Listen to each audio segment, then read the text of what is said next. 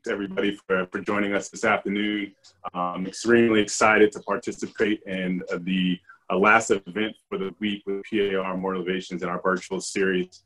First thing I want to do is thank uh, a couple people that have made this possible. Uh, working with LFA over the past couple years, uh, we've been able to do some things and advance the program in more ways than I think many of us thought we would be able to do in a short amount of time that we've been doing it. Uh, when COVID happened in March, it kind of put everything on pause, but due to some um, some some ingenuity and uh, some adapting to the current circumstances and the situation, our team led by uh, Ben and his folks with the marketing and the developing of how we were going to actually push this out virtually has really taken away and helped us, you know, continue our efforts uh, with LFA. So first, thanks to Ben and his team, uh, Chad Mintz and uh, SJ Berryhill for all the work they've done in making this successful and continuing to make it a success as it is. The second thing I want, second people I want to uh, thank is um, Elizabeth City State University for continuing to think about LFA and what we're doing and hoping to bring the programs together so that we can maximize our outreach.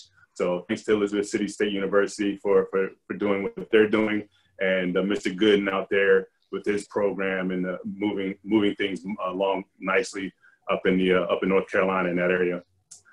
I'm excited to be here. Uh, when I first started doing PAR motivations uh, many years ago, the two of the people that have been the most supportive have been uh, well, one of them has been my brother.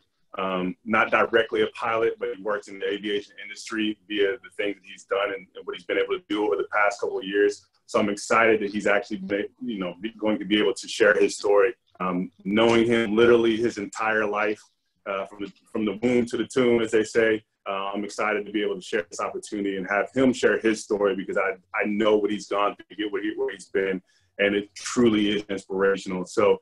Um, when Elizabeth City State asked about doing the drone program, he immediately came to mind, as well as some of our excellent speakers this week.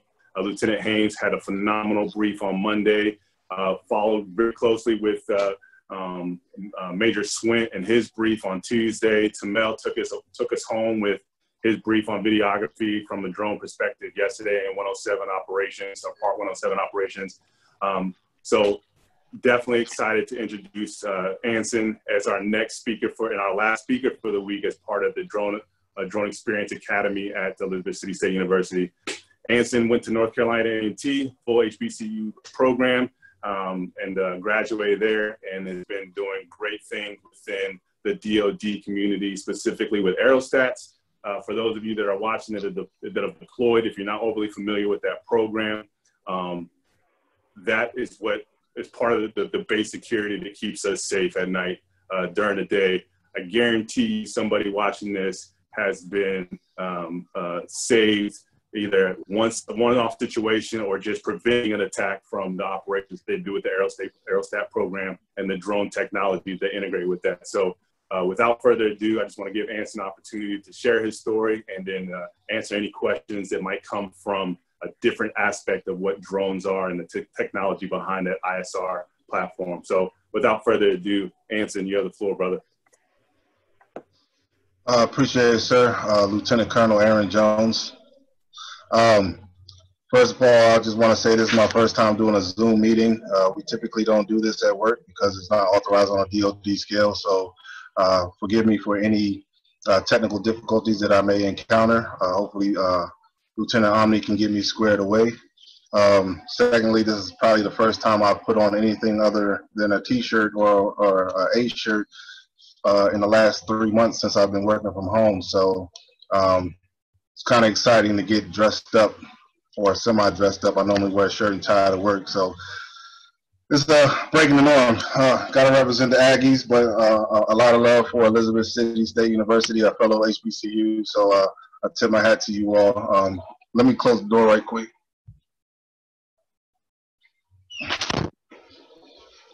Sorry about that. My kids are waking up. Um, so I'll get started with my PowerPoint, and, and while I'm while I'm indulging in it, uh, I'll uh, speak a little bit about myself and, and whatnot. So, um, let me just go ahead and get this squared away.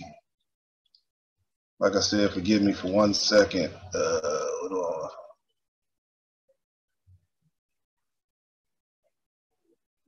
Here we go. Nope, that's not it. Maybe.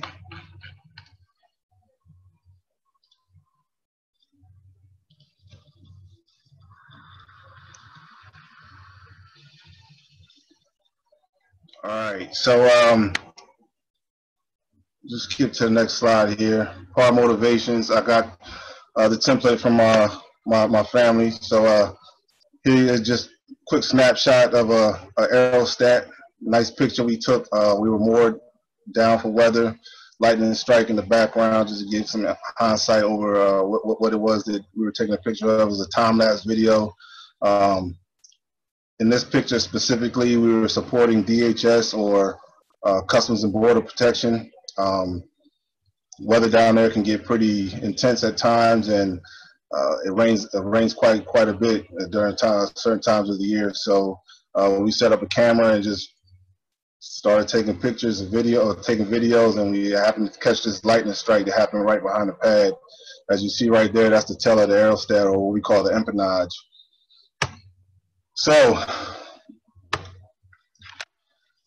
um, I guess essentially when Aaron came, first came to me, he told me that we were we were doing high school students, we were working with high school students. So uh, I've never had a chance to speak to to high school students, but one of the things that you know people tend to ask us as as freshmen or sophomores, even juniors and seniors in high school is, what do you want to be when you grow up? And you know, typically the answers are doctors, lawyers, you know, movie stars, or uh, other professional uh, uh, professions that typically don't or as cliches go, come to mind, cops, firefighters, so on and so forth.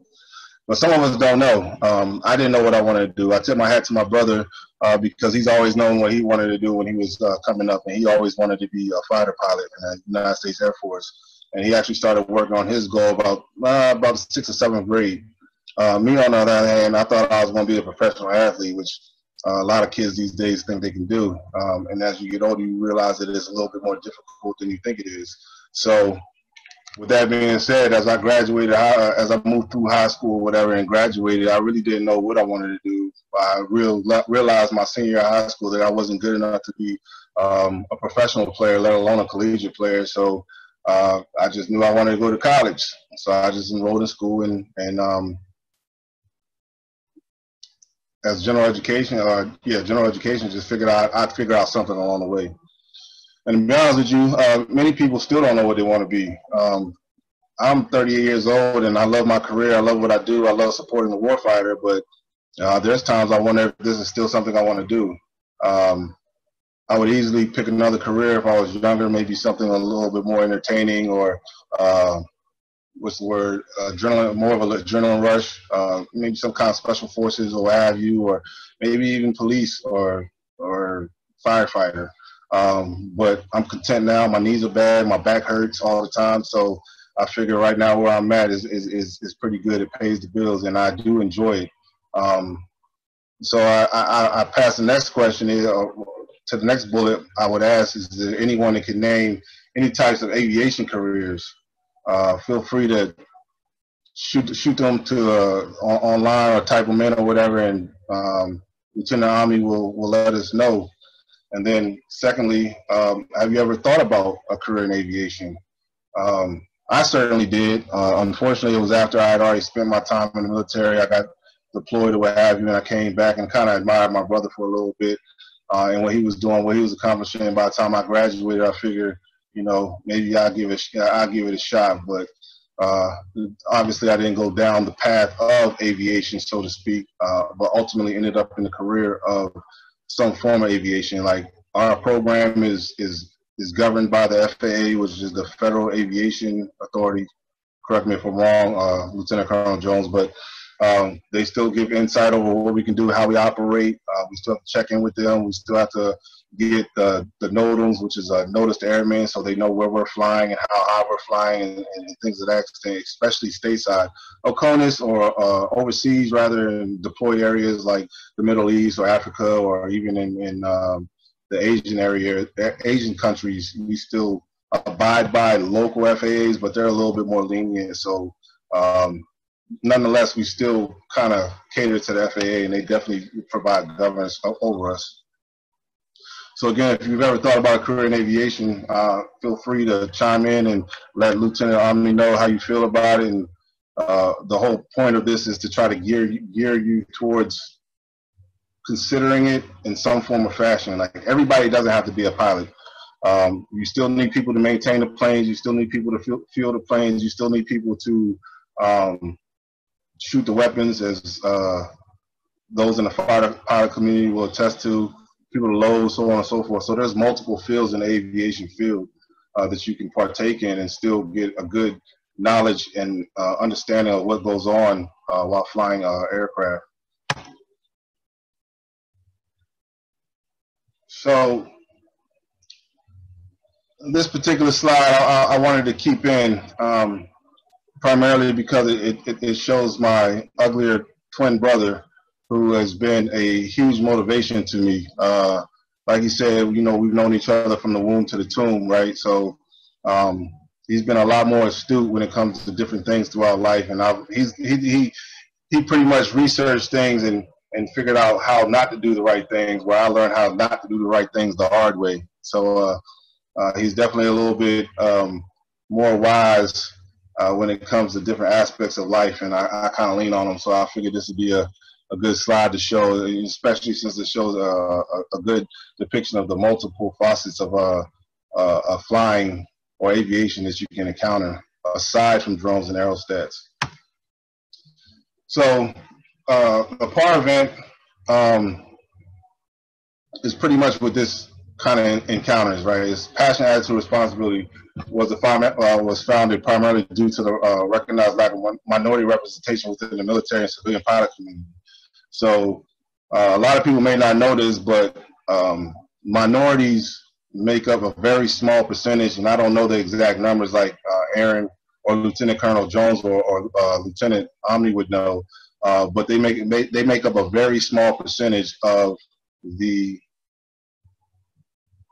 pilot community, not only in the Air Force, but commercially as well. So like your American Airlines, your Delta Airlines, U.S. Airways, so on and so forth. Like just uh, African Americans and, and, and, Hispanics, uh, just they're just not seen as much as uh, um, white pilots are. Even even females are make up a, a, a, a minute uh, majority of, of the pilot community. So um, this program is geared towards trying to engage people into understanding that just because you don't see people like you flying planes, whether it's in the Air Force or whether it's commercially or working with aerostats or working with drones or things of that nature, doesn't mean that you can't do it. So you can do whatever it is that you set your mind to, and this program is geared towards helping you see that and understanding and then also uh, help you learn what you can do to pursue your, pursue your dreams if you decided uh, aviation is something that you want to um, indulge in.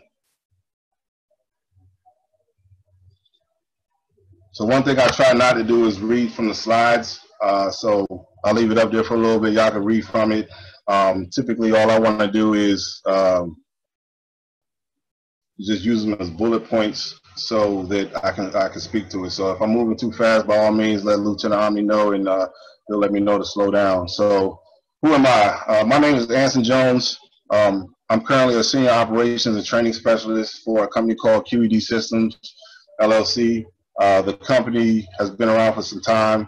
I'm actually a contractor, but I work directly for the Department of Defense, uh, specifically the U.S. Army.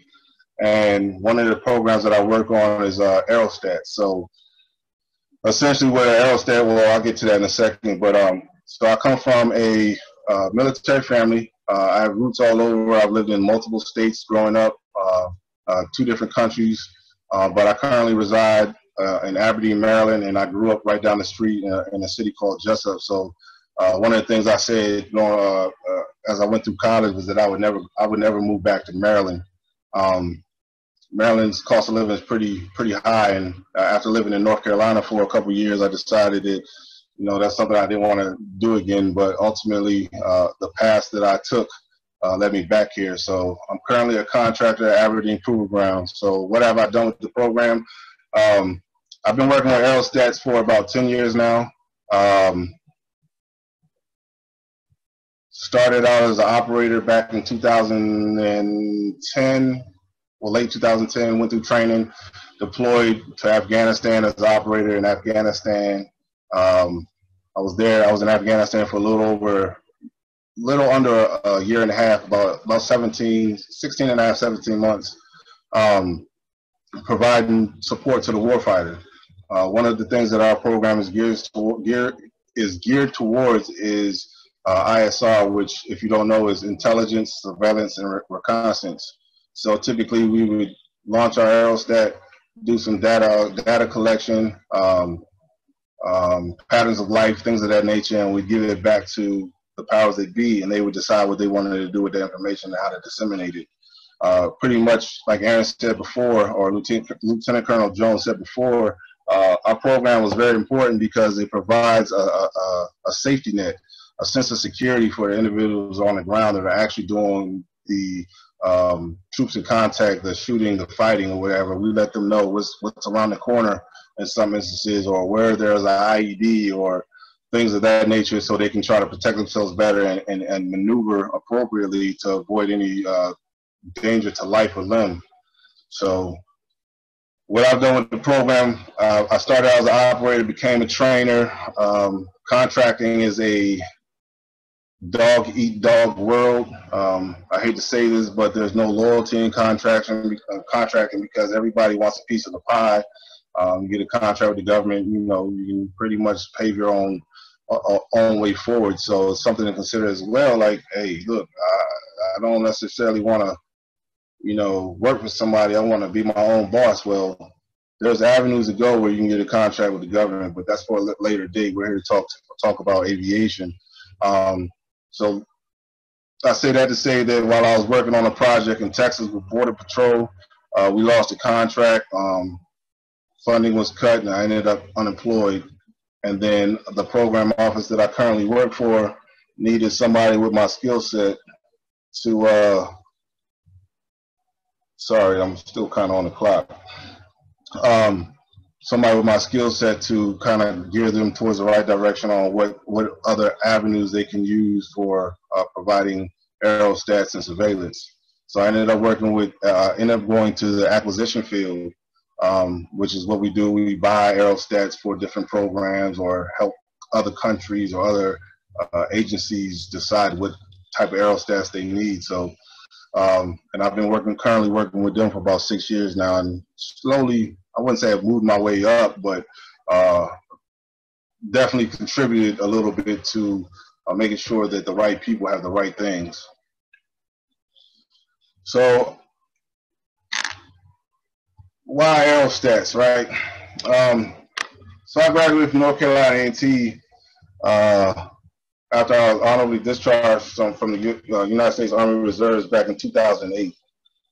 And upon my graduation, I realized that I wanted to go into the Army. And unfortunately, I soon realized that uh, some of my disabilities that had me removed from the Army uh, prevented me from getting back into the Army. Um, as I said before, I kind of followed my brother a little bit and wanted to do something along the lines of what he was going, but I didn't want to go to the Air Force.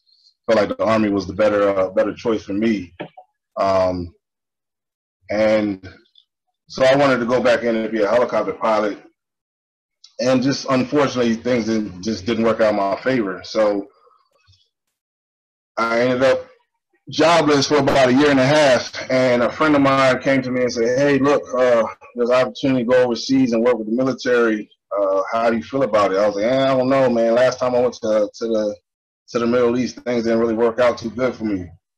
Um, so after some thinking and realizing that I haven't had a job in a year and a half, I said, you know what, let me go ahead and do it. So I ended up doing force protection, uh, or you know, base security for one of the military bases in, in, in, the Middle East, and I was there for about a year or so, well, well about a year and a half. And, and, a friend of mine got a job doing um, working with aerostats, and he sent me the, the information and everything. And surprisingly, when I when I when I saw the first uh, offer. Um, the first contact, it was an email between the recruiter and another individual, and it was so poorly written, and his his his grammar was terrible. Um, he just seemed, I'm not gonna say uneducated, but he seemed pretty ignorant.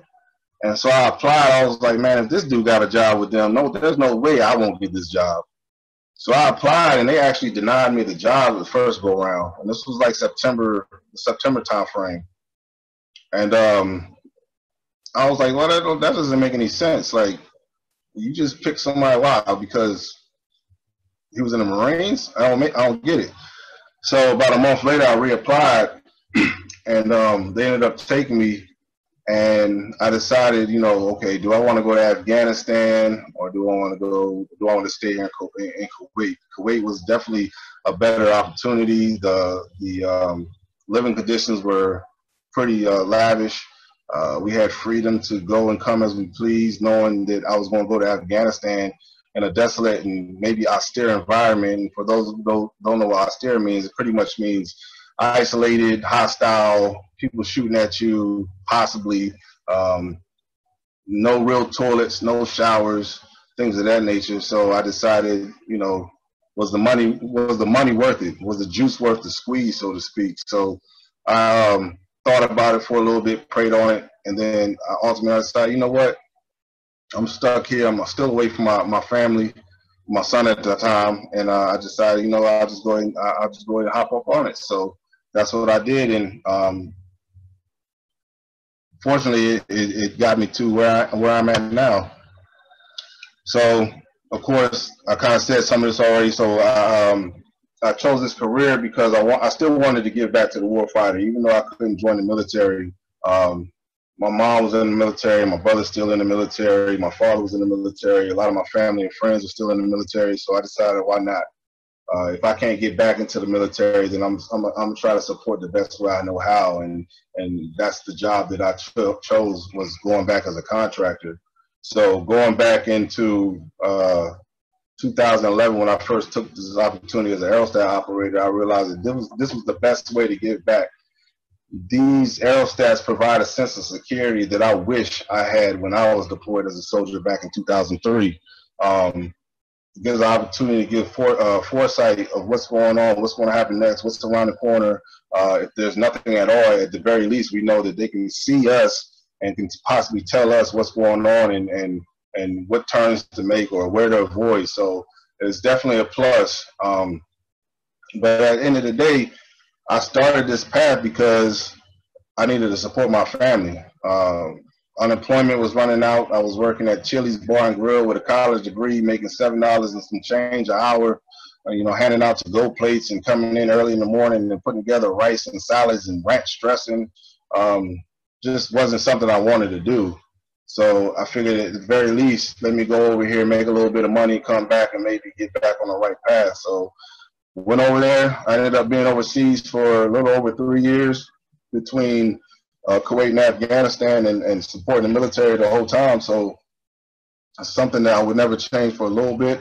Um, met my uh, my wife over there. Uh, we ended up having two kids. So and then the two kids are things that wouldn't have happened otherwise. Um, I guess I don't know if I should say ex-wife or wife, but it doesn't matter. Um, so yeah, that's both of these is where my story began. So my journey started out Florida A&M, another uh, HBCU. Um, ended up transferring North Carolina A&T, and things were different. So my first year at A&T, I was actually homeless for about three months, and a lot of my family and friends don't know this.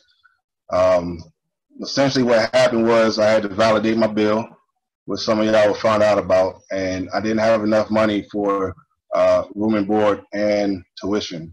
So I had to decide what I was going to do. At this point in time, I was stern. I knew I wanted to get a college education. Um, I was actually uh, in ROTC to become an officer in the military. So I knew I just I just needed to do something. So I decided to drop room and board from my my bill and keep uh, my classes. So that's what I did. And I slept on dorm rooms with a couple of my uh, military brothers. Uh, I slept on couches. I slept in a van, which is where I kept all my stuff. And it was just a recurring thing, and I didn't let it stop me. Uh, I decided that that was what I was going to do. That was the choice I decided I, I needed to take. Um, could I have went home and stayed with my father? Yeah, absolutely, I could have. But would I been able to? Would I be where I'm at today? Probably not. Uh, I wanted to get away from the house. I, that's the best thing that I ever did was leave the state of Maryland for for school and, and work. Um, not mad that I'm back because I'm around family, but at the end of the day, there are a lot of people who don't leave where they're at because it's a comfort zone. And one of the best things I've learned over the years is that you have to get comfortable with being uncomfortable. And of course, it's uncomfortable being homeless. I, have experienced times where I was jobless, I was uh, unemployed. Um, times were hard. I was hopeless, but you know, I still had to make sure that myself in the beginning had to eat, and then once I had my son, uh, of course, I had to make sure I took care of him. So uh, eventually, I got on my feet. Uh, within that first semester, uh, I was only uh, homeless for about half the semester. One of my sisters from the uh, from the military, she decided she found out what I was doing. She was like, "Hey, look, I've been trying to move to Greensboro anyway, find an apartment, and then me and you could be roommates." So we ended up doing that, and then. uh, lo and behold, about three months after she moved in, we got deployed. Um, and then when I came back, when I came back, I had a son, so you know, I had a little bit of money from being deployed, and that kind of paved the way. Got a job, worked there for a couple years. I pretty much worked my entire time I was in college, so uh, I definitely did what I had to do to make sure that things were squared away for myself and my family.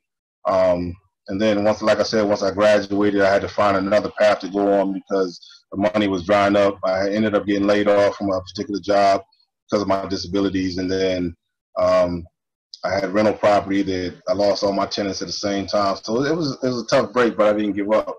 Which goes into my next bullet: the power of positivity and believing in yourself. Uh, never give up. If there's a will, there's a way. So even though I lost all my funds at the same time, um, I didn't have a job. My unemployment ran out.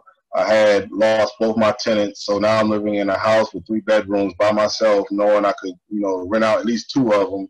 Um, the little bit of money I had saved up quickly dwindled away. Uh, unemployment wasn't really working out to my to the best of my uh, my ability. Um, so I just had to I had to figure out what I was going to do next. Took a temp job here and there. Uh, worked at Chili's, like I said, and ultimately I ended up doing what I was doing, where I ended up in Kuwait, and that kind of led the way. So, as far as like my success and my failures go, these things didn't stop me. Um, I made a lot of sacrifices. So the biggest sacrifice I made was leaving my son, who was four years old at the time, to go back overseas, and not knowing how long I was going to be gone.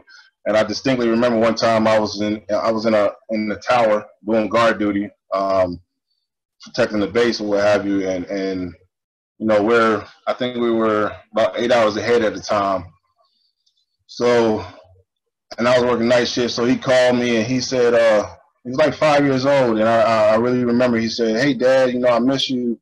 Um, like, I miss you too, buddy. He was like, uh, I just want to let you know that I understand that, you know, you didn't want to leave. You didn't want to leave me, but you had to leave me because you want to make sure that I have everything I need, and you want to take care of me and mommy. And I was like, well, I don't know who you heard that from because that's a lot coming from a five year old. But I was like, yeah, you're correct. That's right. I'll be home soon, so on and so forth. And as at that time, I realized that everything I was doing was adding up to where I needed to go and what I what I needed to be doing to make sure that everybody was taken care of. So it was definitely a good feeling to know that a five year old understood that. Um, but at the same time, it's kind of heartbreaking. Like, yeah, I didn't want to be away from him, especially at that time. It was like, you know, missing the first day of school, first soccer practice, things of that nature. But I knew I, that's what I had to do. And ultimately, I ended up making more sacrifices as uh, I ended up getting married sometime later and have, um, you know, providing for them and missing birthdays and holidays and uh, having to try to trying to plan a wedding from from Afghanistan. You know, like pretty much, I was like, she just planned everything. She planned everything. I paid for everything, and boy, I hated that, but you know, it, it is what it is. So the sacrifices is definitely one thing that led to my success um, thus far. With kind of some of my failures too, but neither here nor there. So responsibility, owning up to your actions, situations, and not blaming others. Being homeless was something I chose to do. I don't blame anybody for that. I blame myself for that. Um, my twin brother, uh, Lieutenant Colonel Jones, he was uh, fortunate enough to have some idea of what he wanted to do, and he worked hard, and he he he continuously did everything that he needed to do to get where he wanted to go, and by doing so, um, when he graduated from the United States Air Force Academy, he had no student loans, and the little debt, the little bit of debt that he did have was a a loan that they afforded uh, offered him while he was in school, and he took that loan and invested it. So by the time he graduated, he paid off the loan and still had money in his pocket. Whereas myself, uh, you know, I didn't really know what I wanted to do up until the last minute, and unfortunately, I'm still paying off some of my student loans. Um, not to say I would change anything else, but you know, that's what comes with deciding to go to school and not having you know, done the, the preparation and taking care of things that you need to take care of prior to, to, to getting to school. Um, missed events. I chose to sacrifice certain events to be there later. So um, my, my, my two youngest kids, they're five and three. Uh, I haven't missed a day uh, or uh, an important, I haven't missed an important event yet. I still travel for work, so I still go overseas sometimes, uh, but I haven't missed a, a, day yet with them. Um, I still I've been there for every birthday, every holiday. Um, but that was a sacrifice I made with some of my older kids that, you know, I don't have to make that sacrifice with them now. And then the last thing is like letting my disabilities dictate my drive. So some of my some of my disabilities are none of them are physically seen, um, but there's some of them are physical, some of them are, are, are intuitional or mental or whatever the case may be. And, and, there's days where I don't even want to get out of bed because either I'm too sore, I'm just mentally drained. And that's had an impact on my drive in the past. And it took me some time, probably about three, four years before I started getting all of that under control uh, from a physical aspect and a mental aspect. Um, and I just know that in order for me to continue down this path of success, I need to, you know, fight through some of those quote unquote demons that I'm dealing with, whether it's my uh, physical um, physical pain or my mental pain, I need to kind of tuck that aside and just deal with what's going on right now so that I can move past that. And unfortunately, it's still something that I'm still working with. However, I've learned that I need to overcome those things so that I can move forward and, and, and accept the things that are going to come. Because ultimately, there's things that you, you can have a clear cut path of what you want to do in life, but nothing's going to go as, as going to go the way that you want it to go. Um, and that's what family and friends are for. So the importance of a, a support structure, like we all need help at times.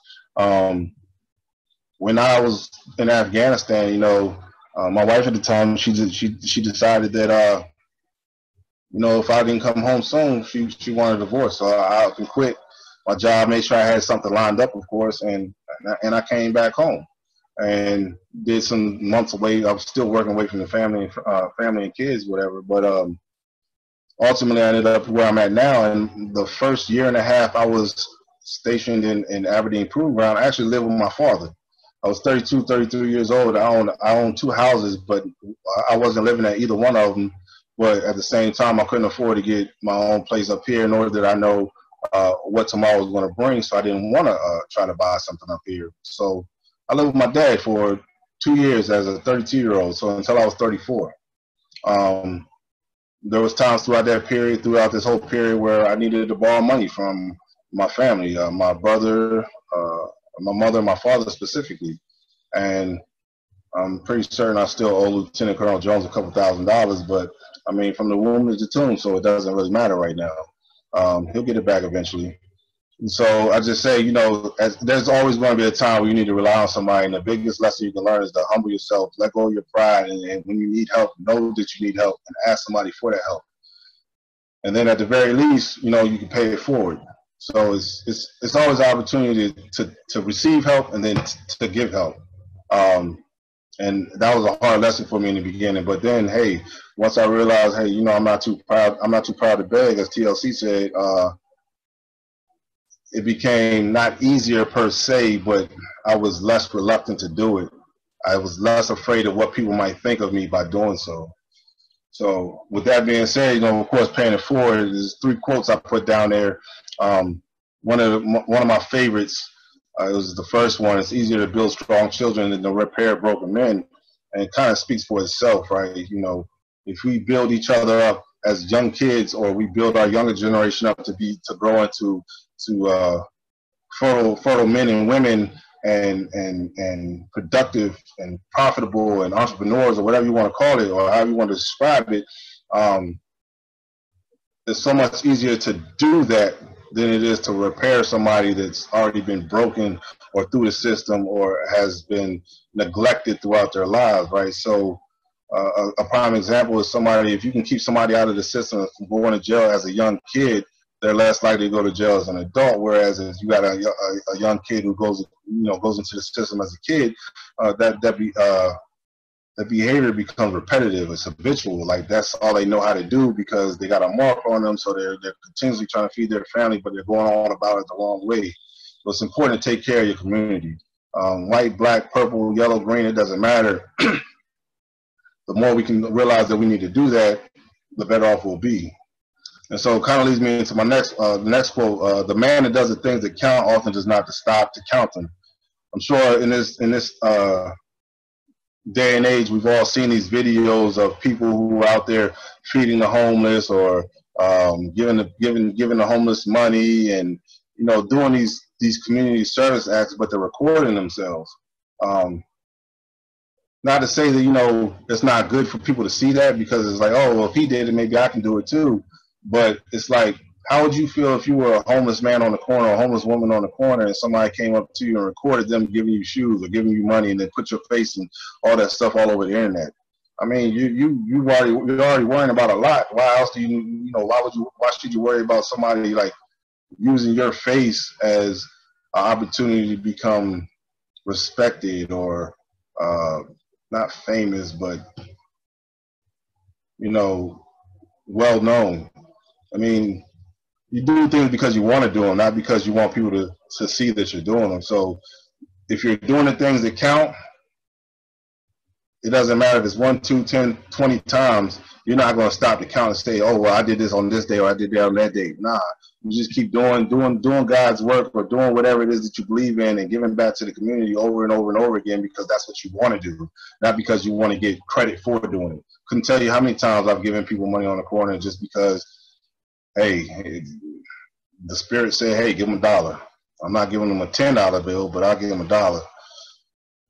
Just kidding. Uh, I've off, I've offered to buy people uh, food. One guy even told me, he's like, look, I don't want your money. I just want a beer. I was like, hey, well, come on. I want a beer too. So I went in the store, bought him and him and myself a beer, and you know, cheered him up. And then I went about my business. He went about his business. And then one of the other things, uh, last quote that I think is pretty paramount to what's going on today from different aspects of our cultures is too often we're judged by, too often we judge other groups by their worst examples while judging ourselves by our best intentions. Um, and this plays a lot with the stereotypes that are govern that, that govern our uh, our lives. Um, black people love watermelon. Black people love chicken. Black people always late. White people smell like cheese. White people have good credit. Whatever the case may be, like we judge we judge people by based off stereotypes where stereotypes do exist for some kind of reason, but not necessarily true reasons. Like especially today and age. So it's like you gotta take into consideration. Like we can't judge an entire group of people based off the worst stereotype, and then praising ourselves because our best intentions is to do good. So we're doing good, but we're judging an entire ethnicity or entire culture or entire uh, uh, race based off their worst examples. But we know that we mean well, so you know we're not going to judge ourselves, and we think that we're better than them. And that goes for you know people of the same race. Um, there's times where you know black people or white people think that they're better than other black people or white people. Um, so that's one of the reasons why I like this. And oh, by the way, President George Bush uh, of all people. Um, I quote this from him. Sometimes I get, you know, a, a third look when I when I uh, bring up this quote. So, moving on. Aerostats and airships. This is what I've been working on for the last 10 years. So, an aerostat is a lighted aircraft that gains its lift through the use of buoyant gas. In our in our particular field, we use we use helium. Helium because it's non non combustible and um, it does not uh, ignite. Uh, the Hindenburg, Hildenberg, Heidenberg, Heidenberg uh, was an uh, aerostat or airship, I'm sorry, from way back in the day. I think May May of 1930, somewhere in the 1930s. Um, but it was filled with hydrogen, and hydrogen is ex- extremely flammable. And there was a fire on board, and ultimately ended up uh, blowing up the entire the entire airship. Air, airship. So we use uh, helium gas now. It's non-flammable, non-combustible. Um, it still gives us the lift we need, even though hydrogen would be a, a better component to giving us that lift. Um, helium is less volatile. It's safer. So that's what we use. And then aerostats include unpowered balloons and powered airships. So on the left-hand side, you see uh, aerostats. And I believe looking at the field, that is actually the TCOM facility in Elizabeth City, North Carolina. So for those of you that live in North, uh, Elizabeth City, North Carolina, um, you're probably familiar with the uh, Coast Guard station. Uh, you drive a little further down, uh, probably about three or four miles further down, um, you'll actually come into TCOP's, um, sorry, TCOM's facility where they actually manufacture, uh, sell, and operate aerostats. And I'm sure some of you uh, in, Elizabeth, City have actually seen these things flying, and actually if uh, anybody else is on here from uh, New Jersey, Arizona, or, or even Texas or New Mexico for that matter, y'all may have seen them as well. Um, but TCOM is in Elizabeth City. They manufacture these. Uh, and like I said, I'm sure y'all probably seen them before. And then on the right hand side, you actually have an airship. So probably the most common known airship that y'all might be familiar with is the Goodyear blimp. Um, it's still helium uh, helium based, lighter than air uh, aircraft, and it's actually uh, flown, whereas an aerostat is tethered, kind of like a, a balloon on a, a, string. So we call it a kite. It's uh, tethered to a platform, and that allows us to launch the aerostat into the uh, atmosphere, depending on where we're at, to a certain altitude, and actually allows us to give some control and, and maintain uh, positive control over it, and then we'll, we'll cover the aerostat um, based off mission or situation, weather. It just depends on what the what the current uh, conditions are. Um, aerostats come in multiple different sizes, shapes, um, and perform different missions. Uh, these are quite a few here. Um, the first one is a PT. The first one that you saw was kind of fast, I apologize. Uh, is a PTIDS that was manufactured and built by Lockheed Martin. Uh, the second one you saw was a TCOM aerostat. The round one, I cannot recall the company that actually made that one, but uh, as you can see, the first four, the other four are all kind of shaped like blimps with a tail. Uh, and the, the, the fourth one is round, kind of like a, I mean, maybe a, a balloon or a UFO. Uh, but they all serve their purposes. Some of them have uh, cameras on them, some of them have radars on them, some of them have other sensors on them, but it just depends on the mission and uh, the agency that's using it. Um, Border Patrol uses them now. They have different sensors on there. Uh, they use it to secure our border along the, uh, the southern border along Mexico. Um, there's this one right here is a pretty large. The one that's on screen right now is a pretty large one. It's been known to carry multiple equipment uh, different sizes and weights. Um, the, the bigger the aerostat, of course, the more helium that goes into it, and ultimately the more weight that it can carry uh, above ground. So um, this one right here looks like a TARS aerostat, which would have anti uh, aircraft radar on it, or aircraft radar on it, be able to detect low flying aircraft. Um, they had some of these across the board as well, uh, both on the north and the south uh, also used overseas. Uh, the one you saw on the ship was something used back in the day. Um, but they definitely serve their purpose, and we, we use them accordingly based off mission, uh, agency requirements, um, and things of that nature. They're pretty pretty easy. They're pretty easy to launch and recover. Um, it's kind of just like using, like I said, like a kite, but it has a motor on it. So you launch it up using this motor. Uh, uh, detach it from the mooring platform, put it up, let it sit up there for a couple days at a time. Um, and then when you're done doing whatever you need to do or whatever the case may, may be, you just you bring it back in and you reset.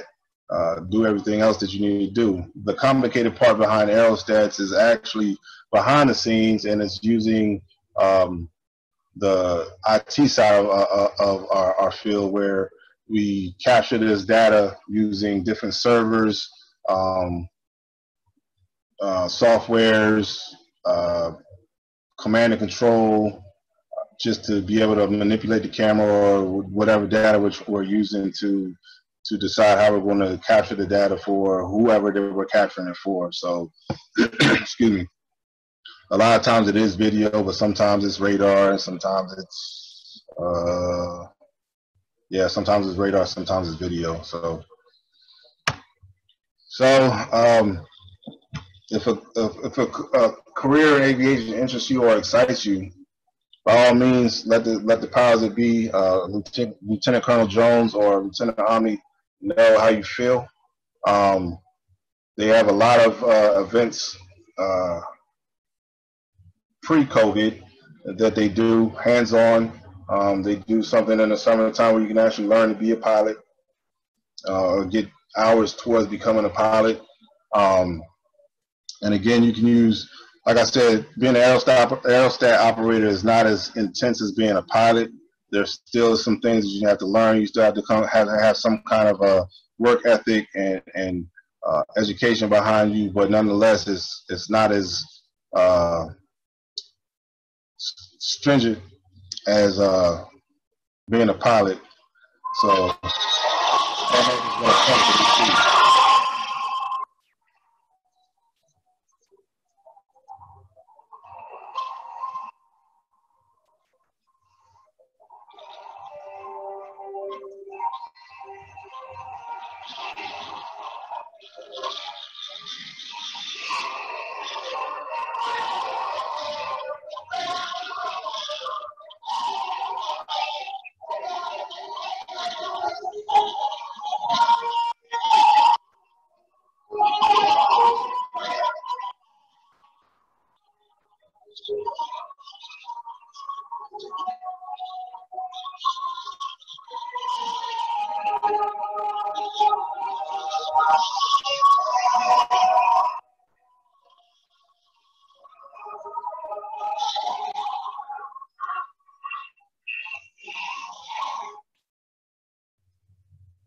so one more video. Uh, we're running short on time, so I'm gonna just play one more video. Um, this is a, a, frat brother of mine uh, from North Carolina A&T, who's also a pilot. Uh, him and my brother actually know each other. So, here we go. Give me one second, Aaron. Or, yeah. All right.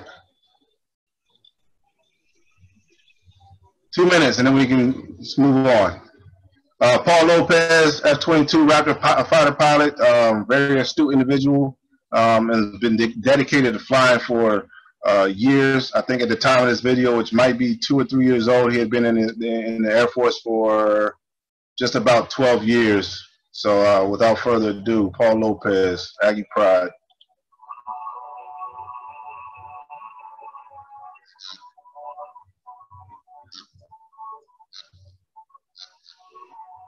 Think you got to change the screen.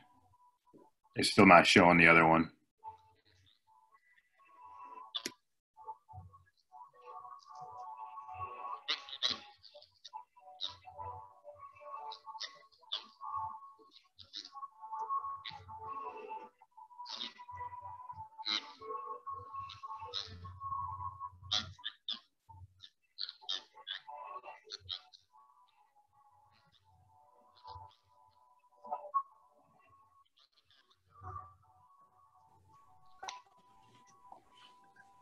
Hey, Ansen.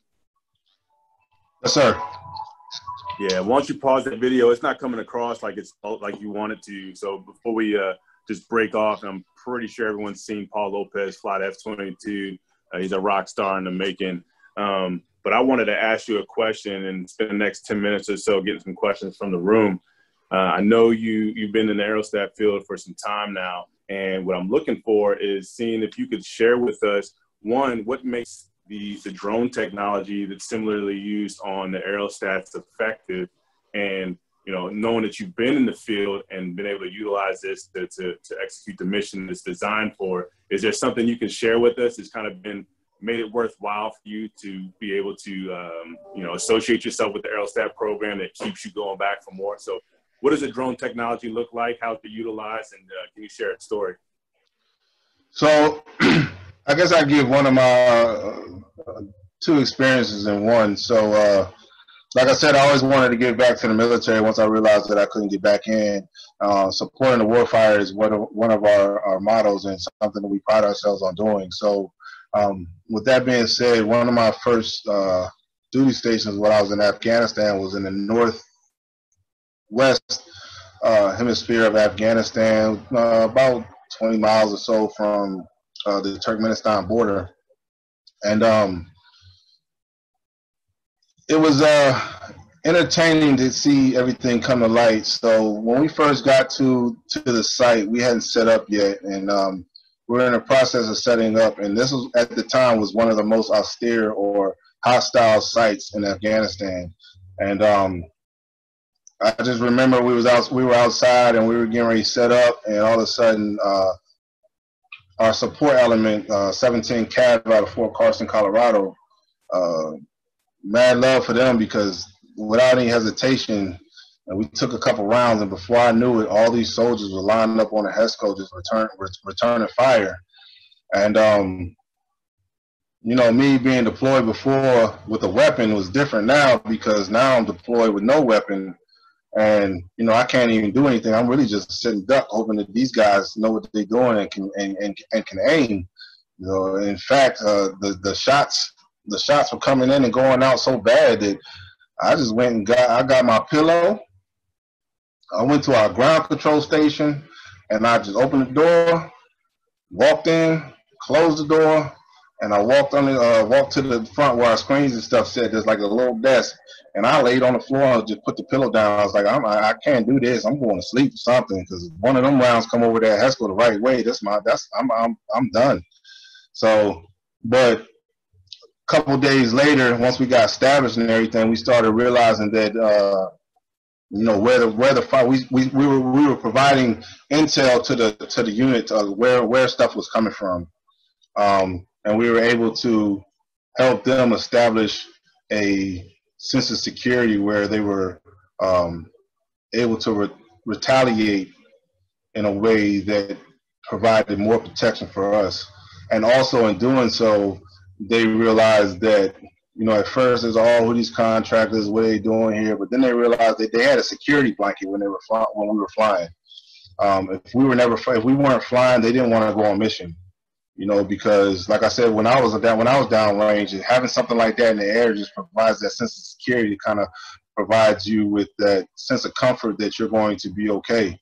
At the very least, you're going to know before something happens, which gives you the advantage, right? So, um, that being said, too, is like it gave me an opportunity to actually live that life again as far as supporting the military. Like I lived with these guys, I breathed with them, ate with them, slept with them, um, so to speak uh, and my first sight, you know, one of my favorite stories to tell people is that, I mean, I didn't shower for 30 days. I couldn't shower. If it wasn't for baby wipes, I praise God, the Huggies and Pampers. If it wasn't for baby baby wipes and and and, and uh, from Huggies and Pampers, like I don't know what I would smell like but it was definitely an experience that I'd, I didn't think I would ever experience again. Not to say that everybody does the experience, but it's definitely humbling and it gives you a sense of life and realize that some of the things that you take for granted here in the states, and that's one of the biggest things that I learned was like you take for granted running water, um, a toilet that flushes. Like we were burning our feces downrange. You know, we had an outhouse, and every day somebody was in the in the in the pit burning that stuff dumping it over into into the hole, and then next day same thing. So um, that was one of my experiences as far as the drone technology goes.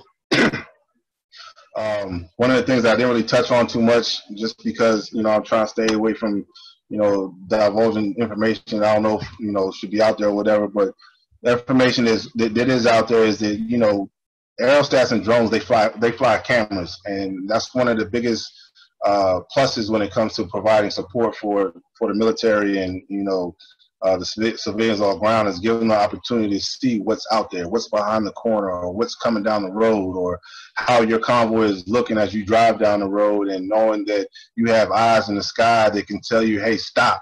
There's an ID in the road, I IED in the middle of the road," things of that nature. Um, so the drone technology has been very beneficial. It's they're they're continuing continuously um, updating it, uh, providing cameras that can see further. Um, drones and aerostats that can fly longer and higher um, and further. Uh, so it's, it's, it's just aerostats are a vital component uh, to the drone industry because they do what aerostat uh, drones can't, and that's staying aloft um, for pennies to the dollar. Uh, we rely on gas like a vehicle does to to fly, just like drones do, but the way we operate, we can stay up for days at a time. Where a drone, once you know, they they use that fuel. We use gas. You know, we stay up for you know whatever amount of days we did. We need to stay up for. Drones, they stay up for you know two, four, five, six hours at a time. Then they got to come back and refuel. We have to refuel too, but we don't have to do it for a couple of days. So I think that's where the two kind of work together as far as providing that support and continue continue to grow to be beneficial to the warfighter. Over. Awesome. Uh, I appreciate. It. I think I think uh, Airhead run. He just texted me. He had a he had to pull chocks there, but uh, at least from uh, from Facebook, I got a, a couple things for you. Uh, Mr. Carey says obviously he appreciates your your real world real world story uh, for his students, for all of us, and uh, your courage and endurance is inspiring. Great example to, to follow and, and learn from. Uh, and he, he, really appreciated your uh, uh your presentation. And uh, Mr. Gooden, who's with uh, Elizabeth City State University, says that your, your life journey provides a true message that pr- proves that the path to success is not always an easy or smooth ride. and he says next time that you're down there in Elizabeth City, please stop by and, and, and visit the undergrad students. Um, so I can say for sure too that I, I absolutely uh, loved your, your your presentation. I think more times than not, you know, especially even with with our PAR events, that we've got great stories and and and uh, and and different people from different backgrounds. But the bottom line for everybody is that you know it's never always milk, honey, and sunshine. And, and a lot of times we just see the end product of where we are now, and we we all you know might be successful, but how we got there. Uh, I think a lot of times, especially when I was a lot younger, uh, that I was never exposed to a lot of those those real truths of how a lot of people get to where they are today. Uh, so I did. I appreciate. It. I thought that was that was awesome. It's a is a, great story. To go back to what you said before earlier, as far as the the stats, ninety three percent of people in aviation today are are Caucasian. Uh, out of that 93%, 6% are women, which is a very small minority, and about 2% is African American. Uh, another 2% is is uh, Asian or, or Latino. So really, as you mentioned, whether you're a female or a minority of any of any demographic, that yeah, it's it's not there's not a lot of us uh, out there uh, doing it. So, and then also that uh, that number decreases uh, with the fighter pilot community as well. Yeah, so, in in my case and uh, in your brother's case, it's I think it's like one percent, something like that. It's it's an extremely small uh, number. It's, it's, it's so low that they, they group everybody, women, yeah. minorities, all into that one percent.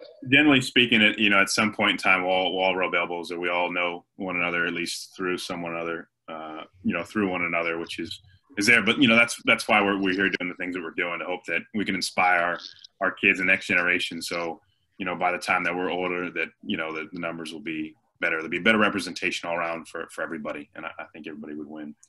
Uh, as far as uh, LFA, you know, you mentioned like Eyes Above the Horizon, and, and that was pre-COVID stuff. What I think is really awesome is what's coming up Saturday. Uh, for those on Facebook that, that don't know well, it's Legacy Flights Across America. And what we're doing, because we can't do our normal Eyes Above the Horizon event uh, due to COVID, uh, is um, going to be pretty much discovery flights, if you will. So kids will be going uh, on their, their first rides, if you will. And this is uh, all over the country, five five states will be live streaming it. Uh, you can uh, go to the website legacyflightacademy.org and, and see uh, the link there to register. You can catch it on Facebook live as well. We'll be streaming it uh, everywhere. Uh, but it's one of those things that you know we're, we're trying to make things happen despite the current events in the world that that challenges us to to keep doing this. So. And then Mr. Travers also says a great presentation as well, man. Thanks for sharing your story. Stops the uplifting and it gives young folks encouragement. So there's there's definitely people, and like I said, I know if there's probably people out there that enjoyed it as much as, as I did that, that definitely take something away away from that. So no, I appreciate everything. Uh, I didn't mean to be so long-winded. No. Actually, I didn't think my uh, presentation was going to be that long, honestly. So, uh, yeah, I definitely appreciate y'all having me. The beauty is in the details, and and uh, like I said, it, when it comes out like that, it's it's awesome. And thankfully, like I said, we've had the, time to to make it happen. So, uh, on behalf of Legacy Flight Academy, thank you uh, for doing this for us. I know that Elizabeth City State definitely appreciated that. So. Well, I appreciate uh, Legacy Flight Academy more than uh, most people might know, uh, regardless of the fact that Lieutenant Colonel Jones is my twin, but what they stand for and what they're trying to do is awesome. Uh, appreciate Elizabeth City State University, fellow HBCU, uh, Elizabeth City itself uh, allowing me the opportunity to come and speak. Um, it's actually a coincidence and a wonderful coincidence, actually, that, you know, I worked with the OEM down there, TCOM, um, been down there a few times, so it, it was a pleasure doing so. Uh, so again, I appreciate the opportunity and look forward to working with you all in the future. Yeah. So thank you all for uh, attending. I hope to see all you back here uh, on Saturday for Legacy Flights Across America. So without further ado, catch y'all later. Appreciate it. Thank you, sir. Yeah.